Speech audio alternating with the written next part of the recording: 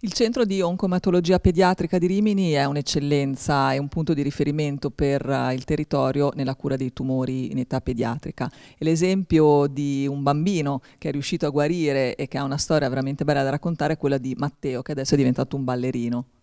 Sì, Matteo è stato curato presso il nostro centro quando era un bambino, era un bambino piccolo, era già un bambino che danzava e aveva già una fortissima passione per la danza.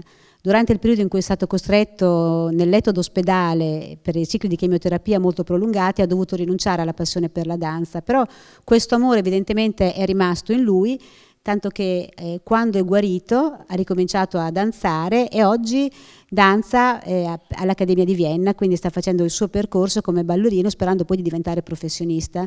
Quali sono i tumori che colpiscono eh, principalmente appunto i bambini e che percentuale c'è di guarigione? I tumori variano in base alle fasce di età, comunque in linea di massima sotto i 14 anni i tumori più frequenti sono le leucemie, i tumori del sistema nervoso centrale e, e linfomi.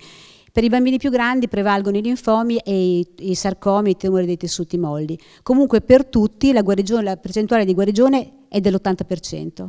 Voi che cosa fate nel vostro centro? Eroghiamo chemioterapia, mh, vengono sottoposti quando necessario di interventi chirurgici, li sosteniamo nel loro percorso, cerchiamo di aiutare le famiglie e una volta guariti cerchiamo poi di continuare a seguire nel tempo per eh, avere la garanzia di aver lasciato libere al mondo delle persone completamente guarite. Quanti sono i bambini che avete curato fino ad oggi? Più di 200.